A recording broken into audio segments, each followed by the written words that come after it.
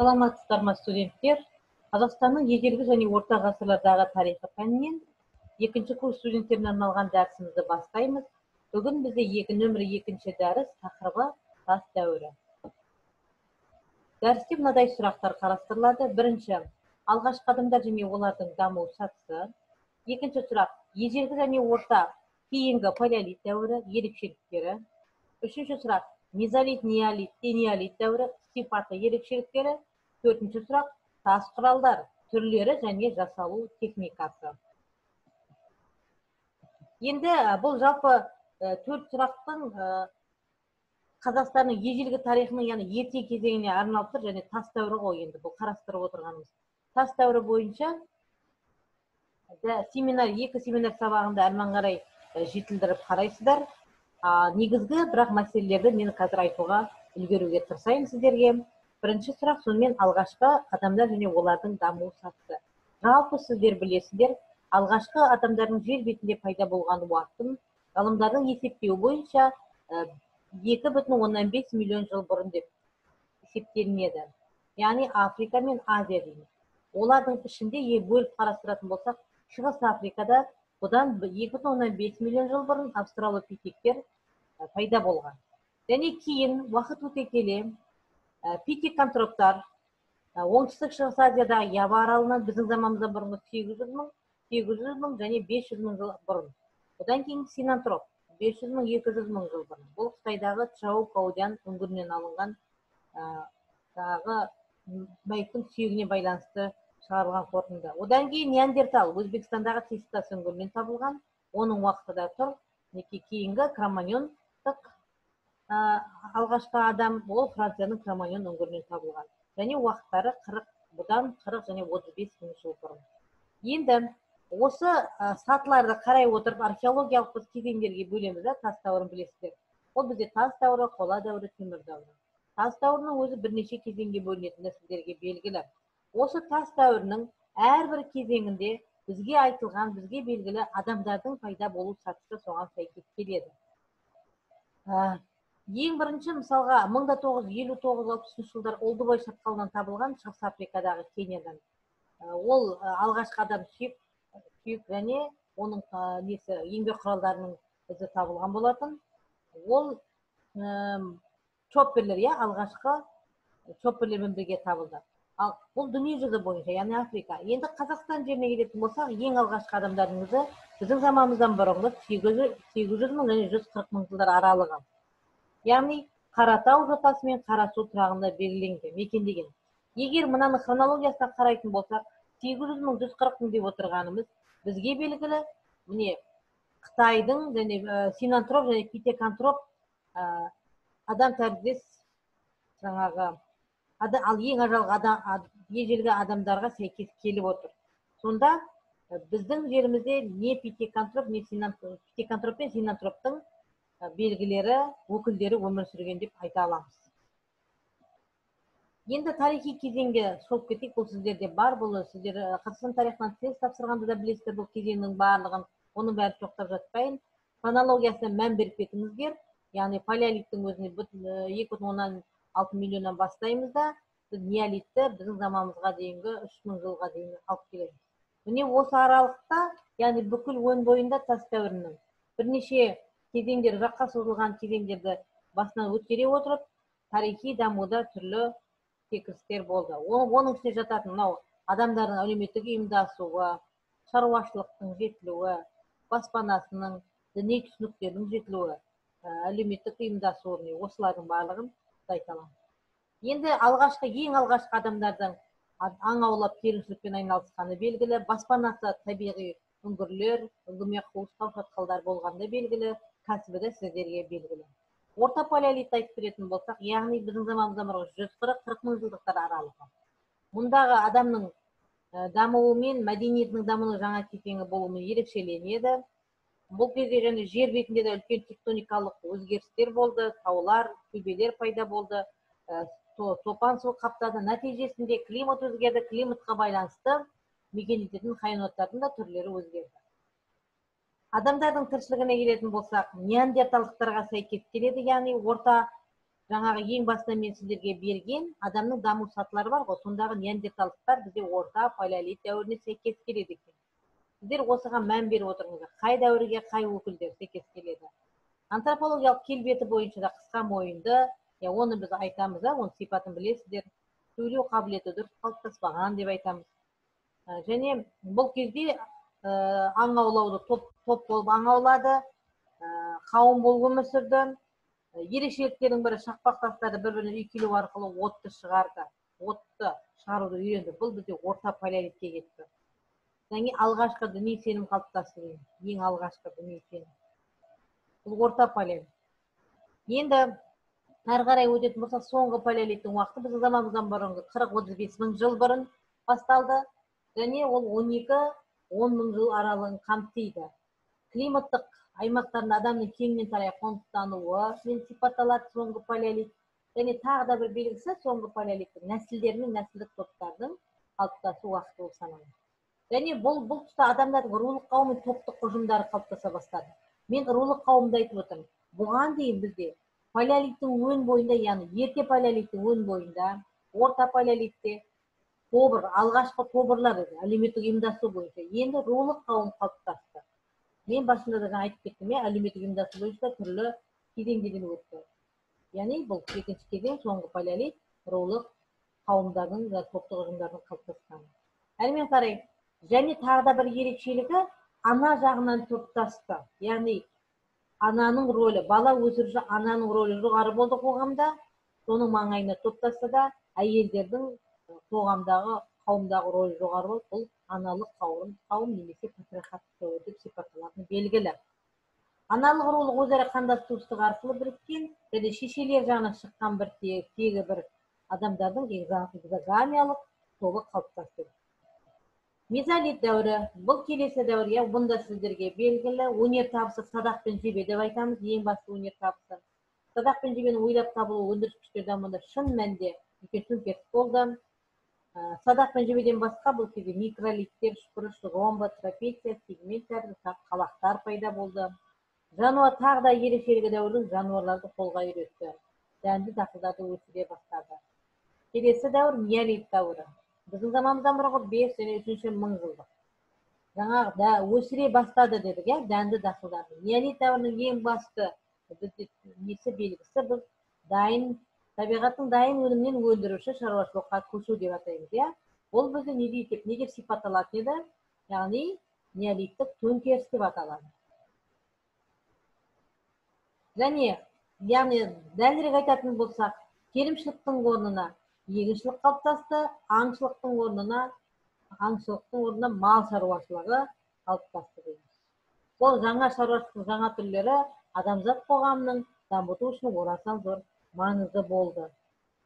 Еңбек саласының саласын кеңейтті сипатын жақсартты. Өсімдіктерді өсіруге жануарларды қолға үйретуге және іріктеуге оларды іріктеуге көшу адамзат тарихында от жаққаннан кейінгі бір үлкен бір экономикалық төңкеріс еді оттың пайда болғаннан кейін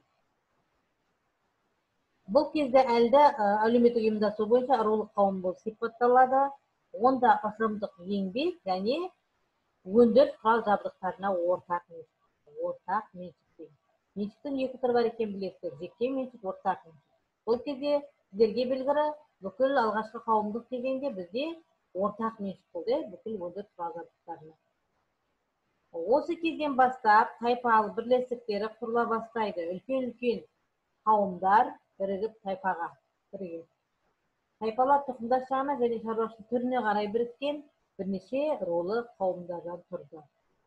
Сонда көріп отырсақ жаңағы әлгі рулы қауым көбейді кеңейді және олар бірнеше өздерінің кәсіптеріне байланысты да шоғырланған еді.